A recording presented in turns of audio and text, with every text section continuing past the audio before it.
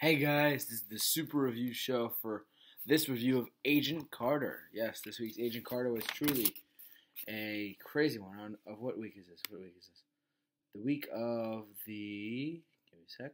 Uh, the week of the 27th of January, 2015. And I'm gonna get into this review a little bit by saying this. Lot, lots and lots and lots of plot twists in this one. It was ridiculous. First off, if Howard Stark is, it, returns back to New York City to tr- to try and help Agent Carter out, um, that was one of the one of the highlights of the of the episode.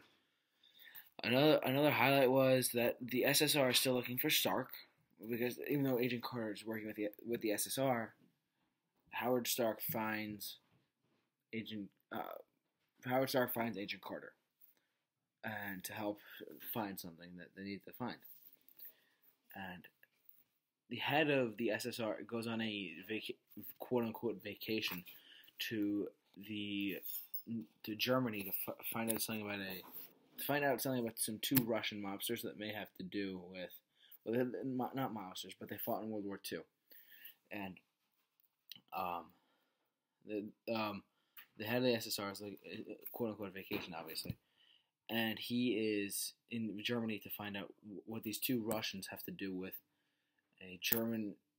They're in a battle with Germany during the war, and Howard Stark was involved in them, and they're trying to figure out what to do with that. Uh, there's a new bad guy in the episode, but he gets killed later on.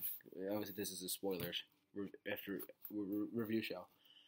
Um, the bad guy has a now brace yourself here it's a minigun pistol. It's a pistol that revolves like a minigun.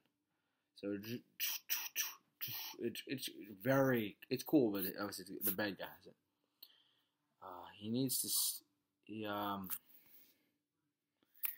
and, and Howard Stark needs needs uh, Peggy or Agent Carter to steal a, a, an already stolen weapon that the SSR has got in their cap in their protective custody uh, one of the weapons that he has, and it turns out one of that the weapon that they have is that um, the weapon they have is it turns out to be blood.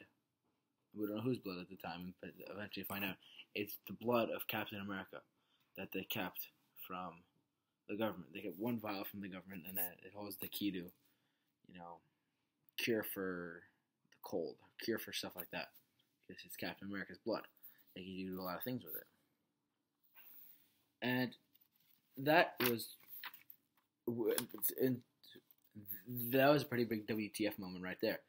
But it turns out now this is where the episode's about to end. Is that the one of the women that Peggy is um one of the one of the women that Peggy lives with in her apartment building is that she, so she comes out of the room saying, "Hey, is that a?" Is, she says, uh, "Are you lost?"